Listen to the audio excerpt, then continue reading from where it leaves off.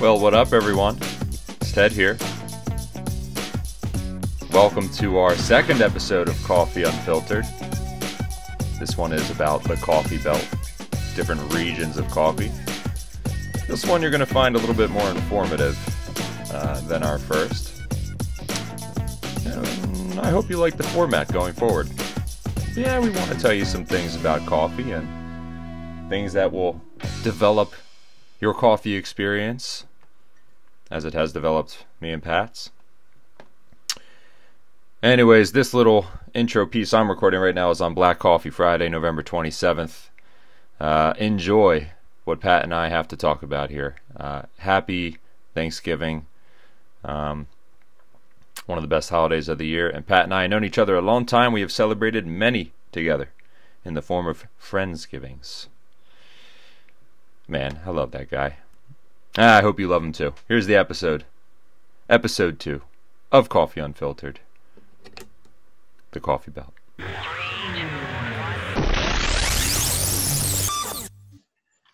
Hello, good timers. Thank you for joining us today. It's Ted and Pat of Good Times Coffee Company. Hi, Pat. Hey, Ted. Welcome, everyone. Yeah, welcome Round- to round episode two. Round two, episode two. Fight! Coffee Unfiltered. Today we're going to take you around the world. That's the plan. Um, what are you drinking right now, Pat? I imagine you're drinking coffee right now. I am. I'm drinking a uh, cold brew of the alpaca, actually. Leftover from uh, the small get together we had this past weekend. Yeah, we celebrated our Friendsgiving in a very different fashion. Um, we missed quite a lot of our friends. Um, saw some of our customers. Uh, in fact, special shout out to Jen. Thanks for the cinnamon roll. That was the Yeah, awesome. to my meal. Um, I didn't tell anybody about that because I didn't want anyone to know that we only had one. And, uh, anyways, and here we are. Um, yeah, celebration was important nonetheless. It's still good to feel uh, the joy in our hearts. Right. And I'm drinking Big Papa, which has been drink- just bringing me lots of joy lately. Mhm. Um, it's funny though. We both said when we drank the alpaca over the weekend, we're like, "Wow, okay, this is pretty good." like, Yeah, it's been it's been a while. That was the first time Yeah. I'd say in, in in months that I've had actually the alpaca, just because it is. Whenever we get it, it's it's selling, so Yeah. it's hard to get our hands on it. yeah, Pat and I, we don't keep uh, anything for ourselves. That's pretty much how we. It's one of the hows of how we keep uh, roasting fresh for people. You know, if there's something that's past what we would like to sell to anybody, which is not, which is probably still a better standard than most coffee companies can keep. Now, whatever, I can only speak for ourselves. Uh, we got no problem drinking the extra inventory. Right, right. It's the perks perks of owning your own company. Wow, Coffee perks, coffee perks. Yeah. that's another. Let's do an episode on coffee perks. Coffee All right, perks. yeah. All right, Pat. So, uh, what are we talking about? Today is coffee regions. Um, this first part is going to be pretty much just spitting a few facts out for people who don't know uh, what these regions are. Uh, basically, it's just the where where the the perfect uh, regions of the world uh, are for growing coffee. Um, and we'll start with what they call the coffee belt. Um, it's I don't know where the name came from. It's people in the industry have given it this. Um, and what it is is basically the region between the Tropic of Cancer and the Tropic of Capricorn goes parallel along the equator. Um, and what that is is it's basically it's basically the ideal climate for growing coffee. Um, and it runs through roughly they say 44 different countries. Um, and through North America, South America, Africa, Asia, Oceania. Um, Oceania. yeah, Oceania, which I actually I've heard that word. I didn't know exactly what it is, but it's basically the the Australian Pacific, uh, um, the the islands kind of off it, kind of Papua New Guinea for one. Yeah. Big Papa, um, and like Tanzania. There aren't many coffee growing countries down there, uh, but they like to include it because Big Papa or Yeah. Big. Yeah. Indo, Papua New Guinea is is one of the uh, the main countries of that region. Yeah. That country, Big Papa. It's Yeah. country. um, I so the next, and then this is the the, the second part of the factoids. Basically, um, factoids. What what uh, what make the ideal climates? It's four it's four different factors to make the ideal coffee. Um, rainfall, temperature, altitude, and soil. Uh, rainfall, and this is all obviously what you're going to find within that coffee belt. Uh, these these countries that lie in that belt have the perfect uh, the perfect it's the perfect region. It's um, the combo. rainfall you're looking at a very moist uh, tropical climate. Uh, a lot of these have monsoons. Yeah. and they each one of them have roughly two to three months of a dry season. And within that dry season is the um, the time for harvest basically is when you when you pick them um, as far as temperature goes you're looking at 59 to 86 degrees fahrenheit. Uh, mostly coffee is shade grown. Uh, there are a few that are sun grown but uh, with shade grown you're you're basically they it's easier to regulate the temps for coffee uh, yeah. growth. There's a lot that goes with the shade grown too and I, d- I just want to mention uh, natural fertilizer always comes up when i think shade grown yeah. Uh, birds have the ecosystem around the coffee fields have a lot to do with the with the coffee growing where it grows and how it grows and how well it grows. Um, but uh, further than that, even is the taste. Right, uh, right, and basically uh, with shade grown, um, I mean you can get good coffee with with with sun grown as well. Uh, but with shade grown, it's like I said, you can they re- it regulates the temperature and uh, like any plant, usually that's grown in the shade, it grows slower uh, mm. because of less sunlight. But coffee actually is ideal at growing shade grown because the slower coffee grows, the more complex the bean tastes, mm. is what complex they say. Complex bean. Yeah. So, um, yeah, when, when we talk about uh, taste of coffees, uh, you know, I, I I'll just use our coffees as an example, but there are some other, of course, there are other great coffees out there yeah. that we don't have in different regions, not yet. But I think of Indonesia and the Sumatra. Uh, uh, to, to, can you to explain to me about Sumatra? It's something we don't carry right now, but we've tried yeah. it. like it. Uh, I mean, Sumatra is obviously uh, it's the big one that you see. You go to Starbucks or any any coffee place. They usually have a Sumatra uh, coffee, which is mostly a, a, dark roast, and that's obviously in well, not obvious because not everyone knows Sumatra is in Indonesia. yeah, I mean, um, I didn't know. I didn't. Yeah, I actually, I mean, uh, to think of it, I didn't really know until I got into this coffee stuff. So it's it is a part. Uh, it's in Indonesia, mm. uh, and it for as far as dark roasts go, it's one of the. I I personally love it. I think it's a great dark yeah. roast, um, and it's probably the most widely used coffee for dark roast just because it's the perfect dark roast flavor. Yeah. Um, it's a, you mentioned complexity. So when people, I just had someone uh, try our coffee yesterday for the first time. Uh, and he texted me this after his first sip because he, he's like, I feel like I'm having coffee for the first time, is what he said.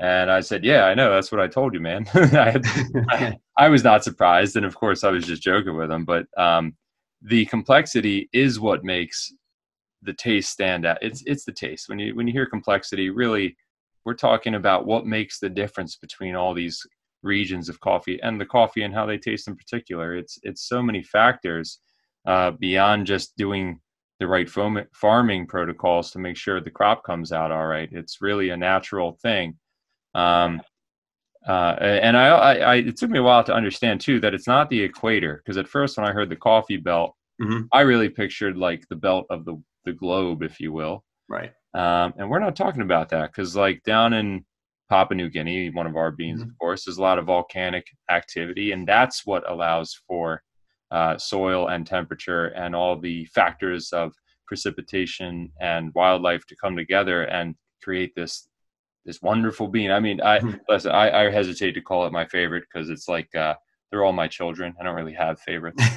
I don't. I I, right. uh, I just have different relationships with. Fair. It's uh, actually funny you uh, you said volcanoes because so the the last two factors is is soil, which uh, the soil within the coffee belt is also most of them are part of what they call the ring of fire which to, oh, yeah. people who don't know is the the uh, tectonic plates basically around the world where most volcanoes are uh, and what causes um, with all those uh, volcanoes, it's it basically makes the soil rich uh, and it's rich with nitrogen and volcanic ash, uh, which like, adds a lot of flavor to to coffee. It's like a nutritional soup.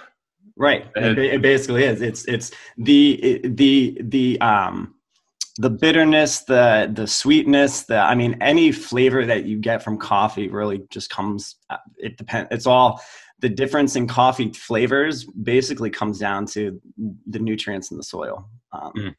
And then the last uh, factor uh, is altitude. And most coffee is grown high altitude. Um, mm-hmm. mm-hmm. It's uh, anywhere usually from 3,000 to almost 7,000 feet altitude. And that also uh, affects taste. I mean, all of this does. So, so on our website, uh, which with each coffee, you have displayed on there the elevation at which it's grown and i always right right there's the part of uh, on the for each coffee there's not only the altitude but also the part of the country that it comes from each country has yeah. for the most part a, a, handful of locations that are um, they're they're part of the country that they grow coffee in so we list that too um, it's really not important for if you're just trying to enjoy your cup of really isn't. coffee. I mean, like this it, is it all, really isn't. If this is the it, complexity, and exactly, and it, I mean, for people who are in the industry, that's kind of more what it's for because yeah. they, for instance, I our, our most recent one, the Toucan. I remember when I was looking up where ours actually was from. Yeah, uh, it's ours is the Copan region of of uh, of Honduras, uh, mm-hmm. which is there's only three real big regions in, in, in, Honduras that actually grow coffee, and they're all basically along the, the northwestern part of the country, which yeah. basically borders Guatemala. Honduras and Guatemala have very, very similar uh, coffees. Yeah, and it's uh, we've tasted Guatemala. I mean, yeah. pretty good. It, it is similar. It's uh, maybe that's why we don't need it right now. Right. It's like you know, right. Honduras does the job for us. Uh, right um, by the way, good good feedback on the toucan, man. That oh yeah, no, they, out people, pretty quick. People, yeah, people really liking it. That's awesome, man. Uh, yeah, because when I was looking into Honduras as a country as a whole, you know, part of the things we want to know are is this uh, can we depend on coffee to to even make it out of the region in a in a uh, fashion that allows us to use the product reliably. In other words, they're, they're, not everywhere in the world is USA, right? So, I mean, we're dealing with regions and countries where shipping coffee is actually not just like a logistics nightmare. It's also like a political thing too and what you're what what the farmers are allowed to do with their own product and such so. Right. I mean you look at i mean i remember when we first started obviously peru the alpaca is yeah, our yeah. biggest seller and i remember when we when we released that um it, i mean obviously everyone likes it. I i really enjoyed it. I think it's a, a solid solid coffee but um, not many at the time there weren't many coffee places that were were selling it. More have now. Uh, I've found that Peru has become a more well-known coffee, but uh, that is largely in part to what you just said. Is um, it it's not as big as a coffee producing country as say Brazil or Colombia, but that a lot of that has to do with regulations, government regulations. I mean, a lot of them don't want to invest time and money into into exporting coffee. Um, but that doesn't mean that the coffee is any lesser than say a Colombia. Yeah. Um, people in the industry who were giving us tips along the way were were saying, you know, it's Peru's good now. We can get right. Reli- we can reliably get it, source it from there. Right. Um, and I mean, to us, it's always been available since we've been around, which has only been a short time. Uh, mm-hmm. So we didn't know that there were these difficulties.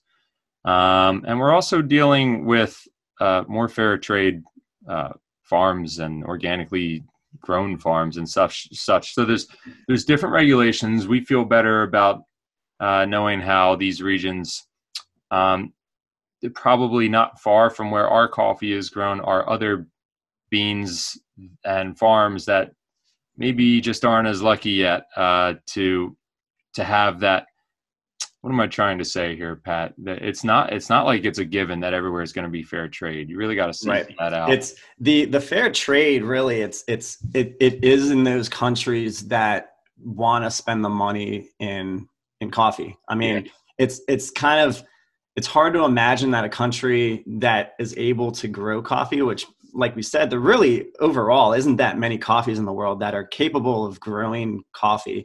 And to think that the ones that do lie within the coffee belt, there are a lot of them that they just don't the governments just don't want to really put the money into it and and by doing that takes away from uh, fair trade and i mean for those who don't know fair trade is it's basically um, it's it's basically putting money into the farms that actually grow um, and harvest the, the, the crop.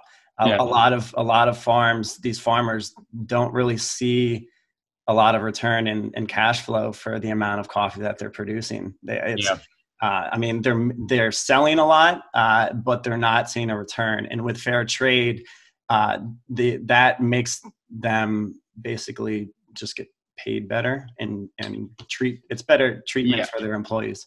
Yeah, I got no problem with paying the man more uh, per, for his product, his her their family product. Really, um, when we know, I mean, first off, it's better tasting. I mean, like the right, quality right. is there, and in right. in the way that we do it, we we can you know stand by that. But we want we it's more than just a product. Like this touches lives uh, around the world. Touches right. families around the world. So right. um, i mean here are in our little piece of it you know? Yeah i mean you think about i mean I, i'd say the biggest thing with the news recently is uh, i don't know if you hear this but the hurricane that just hit uh, central america uh, I think it was Iota, which was like mm-hmm. two weeks ago, and it just ravished uh, Guatemala, Honduras, Nicaragua, which oh, obviously I mean, we we have two coffees right there from that industry, yeah. from that area, and yeah. um, it. I mean, we're we'll see what how that affects the coffee industry. You would assume it it would. Uh, I would, yeah. We we can't know, and we'll we'll yeah, we'll stand by. And, and yeah. yeah. Um, where would you want to go out of any of these places? Where are we visiting first? I mean, next, but we haven't visited any of them. Yeah, I, I, mean, when we started this, I remember we've talked about we wanted to we wanted to kind of use use this this business to to kind of explore these areas, and I I mean, I would say anywhere I would start in Central or South America, I'd probably say um, Peru.